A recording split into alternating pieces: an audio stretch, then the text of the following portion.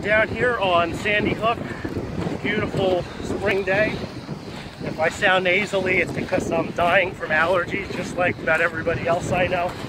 Uh, what Pat and I are doing is we're looking into a, a piece of information we heard, a story. Um, I mean, it's, it's a fact, it's just a matter of where it is. And that is the location of a mass grave on Sandy Hook. Um, yes, you've heard that correct. You've heard that correctly. A mass grave. Uh, now I heard from this from somebody who really would know, because there are a lot of legends and stories out on Sandy Hook, ghost stories, pirate stories, all kinds of things that we talked about in one of our earlier videos. Uh, some of them may be legit, some of them may be not. Uh, National Park Service is very stingy with saying, oh yeah, you know, this definitely this building is haunted. So we don't really get any help from anybody. We have to do our own digging around. And the location of this mass grave, I don't know exactly where it is. I do know it's between two certain uh, points of interest out here. And where this grave comes from is over the hundreds of years that Sandy Hook has been used uh, in various capacities.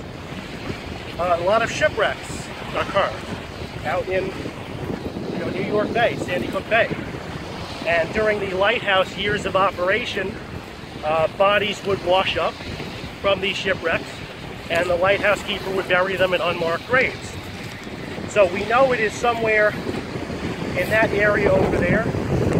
Uh, now the geography of this land has changed. The lighthouse when it was built was only about 500 feet from the water. Right now it's over 7,000 feet just the way the water carries the sand. Sandy Hook is constantly changing. The geography of the landscape here constantly changing. Uh, and it's really fascinating. So this mass grave I think I know where it is. Somebody said it's between this point and this point. Uh, if we do discover the location, we are not going to say publicly. So if the National Park Service is watching this, do not worry. I'm not going to publicly reveal uh, where this location is because simply it's a place that no attention's been called to it uh, for probably 150, almost 200 years. And we want to make sure that attention stays away. Uh, it's a very similar situation to Gettysburg, where there were a few Confederate mass graves, uh, where only, I think it's three people in the whole Park Service know where that grave is located, or where those graves are located. They don't want people digging, fooling around looking for things. You know, they want the grave to uh, remain peaceful. So, I understand why the location is not revealed publicly, and again, we will not reveal it publicly ourselves uh, but there should be should be out there that there was a grave.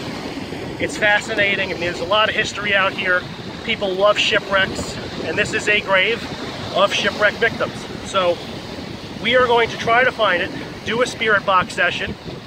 Uh, if we can manage to film it without giving off where the location is, then we will post that. Uh, if not, then maybe we'll just share the audio, or maybe we'll just, you know, aim the camera straight down at the ground. We want to remain respectful of the graves as well as uh, the National Park Service's views on keeping the location secret. But it does exist, it is out there. The only thing I'll give you is it's that way. And there's a lot that way. So we're going to be doing some digging.